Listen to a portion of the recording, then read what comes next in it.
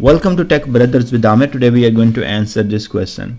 Sometime when you execute your SSIS package, you get an error file is used by another processor. Why did you get this error and how can you avoid this error? So th this is very very common error when we are uh, working on SSIS packages and we often get this message. So there are a couple of scenarios I'm going to explain that first thing when somebody has opened that file. Let's say you have you are using a share folder and you are reading excel uh, file. And uh, somebody went there and they're making a modification or maybe they are just reading the data. And your package is also going to read the same file uh, from the, that shared location. So th that's where you will get this error.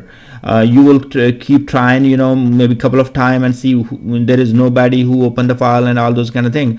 But uh, there would be some user or your colleague he already has opened that file maybe making modification and all that. So uh, you need to take care of that part. So if you are using shared location make sure the people are not using those files.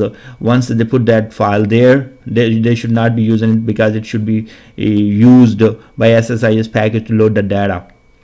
Second part uh, you read the file uh, from some folder and um, assume that this is an, an Excel file and uh, you read it and uh, what you are doing you are reading uh, this excel file by using execute uh, sorry scripted task.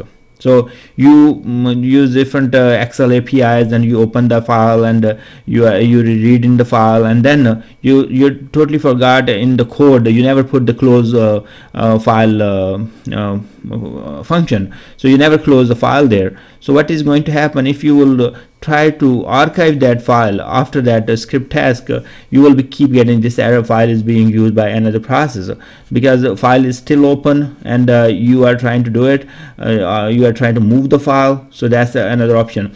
Uh, most of the time what I feel like this is more common issue with the Excel file. And if you have a file uh, that is a CSV or uh, that, that's a text file. You might be able to read the file but still if the file is open uh, and you will try to archive that file you will get this error.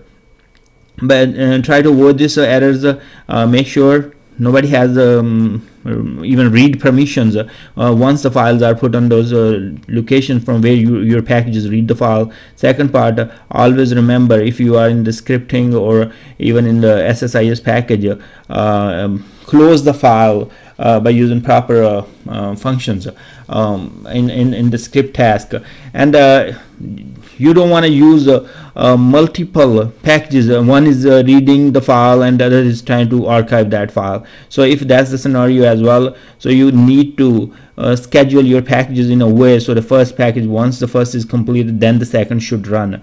The same same goes with the package itself. Uh, you in the if you are trying to have uh, uh parallel tasks uh, one is loading the file another is trying to archive. You don't want to do that. So uh, you want to have them in sequence. So first one load the file second one move the file from input to the archive folder. So these are the different scenarios um, and uh, that's it for this uh, question and I will see you guys in next uh, video